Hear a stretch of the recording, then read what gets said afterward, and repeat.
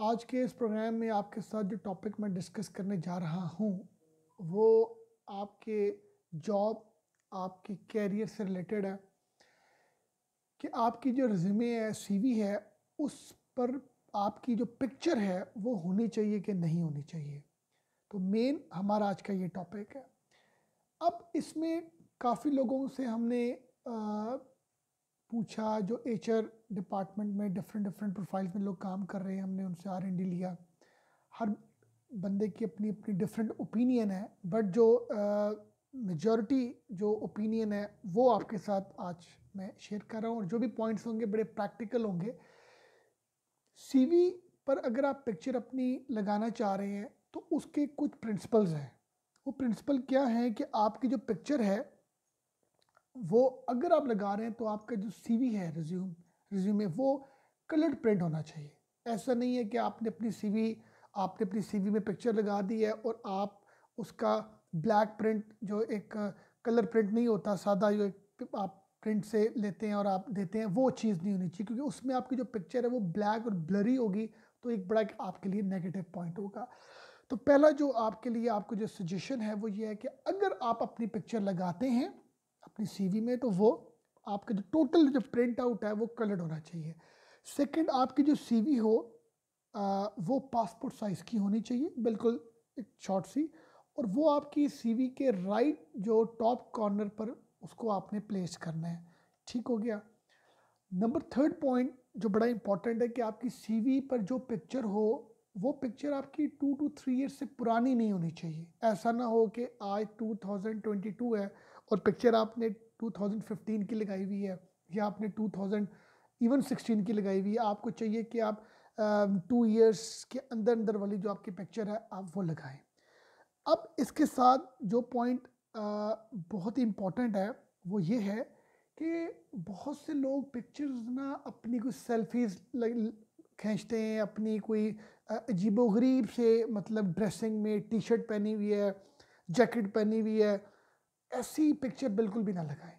आपने लगानी है तो आपकी कोट, पेंट टाई अगर आपके पास कोट की नहीं है, कोई मतलब ऑप्शन तो आप जो पिक्चर है वो ड्रेस शर्ट विद टाई लगाएँ, ठीक है? तो ये एक आपको मैंने बेसिक से प्रिंसिपल्स बताए हैं जो अगर आप अपनी पिक्चर लगाते हैं, अपने सीवी पर तो इन प्रिंसिपल्स को आपने अपने माइंड में रखना है, ठीक है? अब क्वेश्चन आता है कि क्या हमें अपनी पिक्चर लगानी चाहिए? पहले तो मैंने आपको बताया कि अगर आप लगाते हैं, अगर आपकी चॉइस है, आपका दिल करता है, आपको लोग, दोस्त कहते हैं सर्कल में नहीं यार लगाएँ तो इन प्रिंसिपल्स के अकॉर्डिंगली लगाएँ। अब आप कहते हैं कि अब जो मेन जो क्वेश्चन है, वो ये है कि क्या हमें अपनी पिक्चर लगानी चाहिए कि नहीं लगानी चाहिए? इसके भी, इसमें भी बड़ी कॉम्प्लेक्सिटीज़ है। कुछ, बहुत से लोग कहते हैं लगानी चाहिए, बहुत से लोग कहते हैं नहीं लगानी चाहिए। बट अगर मैं आपको अपनी एडवाइस बताऊँ, जो लोगों से मैंने आर एन डी सारा किया, नहीं लगानी चाहिए पिक्चर ठीक है? अब क्यों नहीं लगानी चाहिए? इसके ऊपर भी हम डिबेट करते हैं। और क्यों कुछ प्रोफेशन में लगानी चाहिए उस पर भी डिबेट करते हैं। अगर तो आपकी जिस जॉब पर जो जो आपका पोर्टफोलियो है आपका जो सीवी का पोर्टफोलियो है जो जो आपका एक्सपीरियंस है या जिस जॉब के लिए आप अप्लाई कर रहे हैं अगर तो वो सेल्स एंड मार्केटिंग से रिलेट करती है। अगर तो वो आ, कोई ऐसी आ, आप कह लें कोई एक्टर से रिलेटेड है कोई मॉडल से रिलेटेड है या कोई ब्रांडिंग से रिलेटेड है तो उस पर आप लगा सकते हैं। कोई आर्टिस्ट की है ठीक है, आप कोई जॉब अप्लाई कर रहे हैं। तो ये जो स्पेसिफिक फील्ड्स मैंने बताई हैं, इस पर सीवी का, इस पर पिक्चर का होना सीवी पर लाजम है और इसके बड़े प्लस पॉइंट्स हैं। अगर तो आप इस तरह की कैटेगरीज की जॉब के लिए अप्लाई करें और आपका ये पोर्टफोलियो है। और अगर आपका पोर्टफोलियो है डिफरेंट तरह का, आप आईटी फ़ील्ड से आपका बैकग्राउंड है, आपका इंजीनियरिंग से है, आपका डॉक्टरेट से है, आपका लेक्चरशिप से रिलेटेड है, जो भी आपके अदर देन जो मैंने आपको स्पेसिफिक प्रोफेशन बताए आप डिफरेंट प्रोफेशन के हैं तो आपको पिक्चर जो है वो मेरे ख्याल से या जो लोगों के ओपिनियंस हैं, जो एक्सपर्ट्स के ओपिनियन है, आपको पिक्चर नहीं लगानी चाहिए। अब पिक्चर लगा के आपको क्या नेगेटिविटीज़ फेस करनी पड़ती हैं? सबसे बड़ी नेगेटिविटीज होती है कि जब आप अपनी पिक्चर अपने रिज्यूमे में आप ऐड करके आप किसी भी एचआर को या किसी भी एम्प्लॉयर को ईमेल करते हैं तो वो बहुत सी चीज़ें आपके बारे में जज कर लेता है।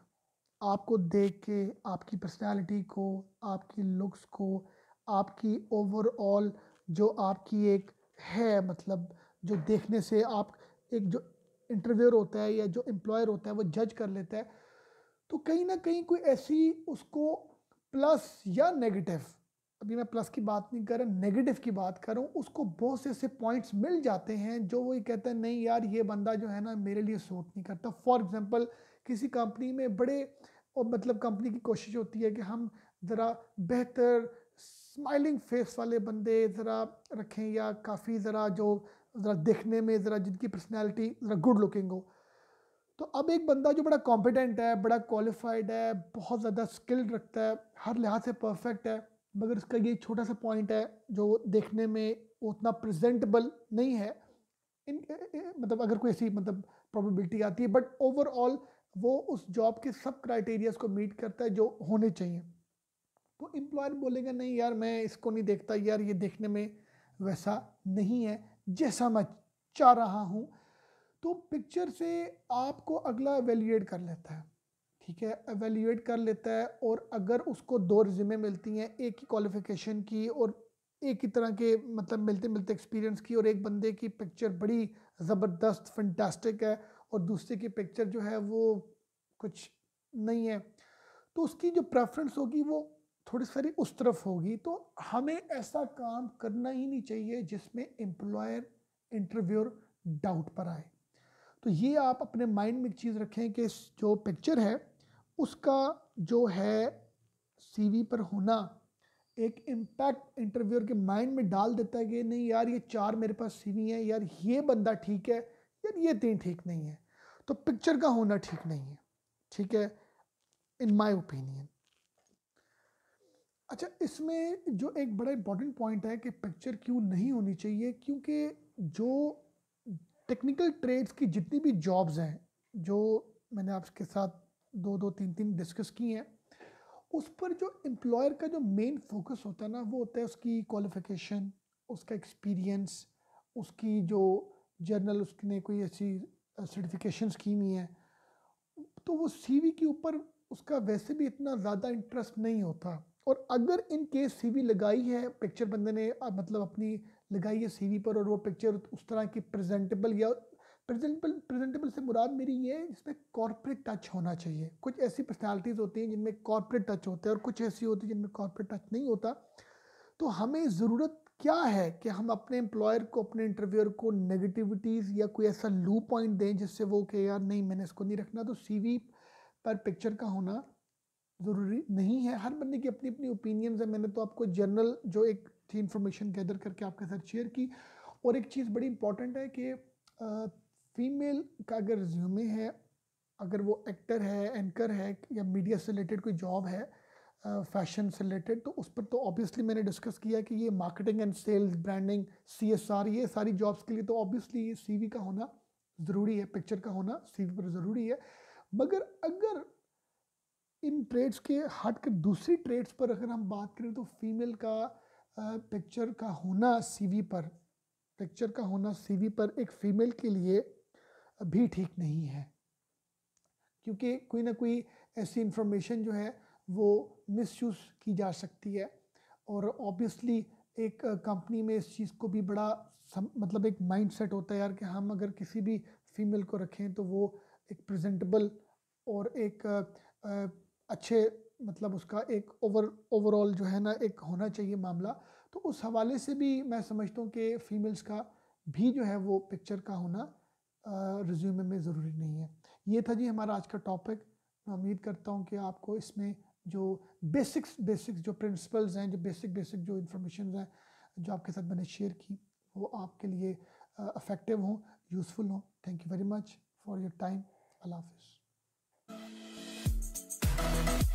フフフ